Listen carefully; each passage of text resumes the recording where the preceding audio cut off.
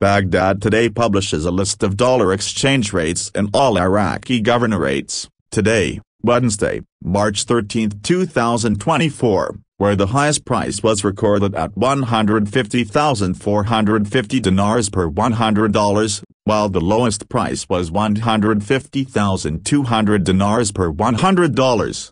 Governorate exchange rate, $100 equals 150,200 Baghdad. $100 equals 150,250 Erbil. $100 equals 150,250 Basra. $100 equals 150,300 Sulaymaniyah. $100 equals 150,300 Dahuk. $100 equals 150,400 Kirkuk.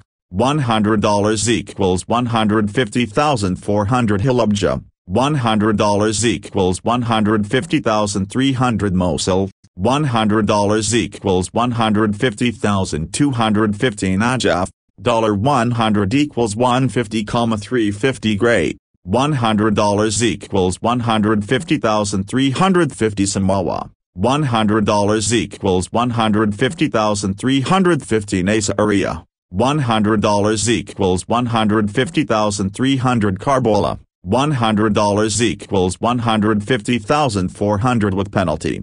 $100 equals 150,450 Hilla. $100 equals 150,350 Kut.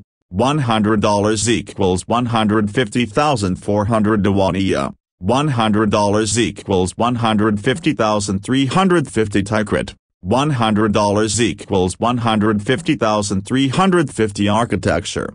Note that the official exchange rate is 132,000 dinars for every $100.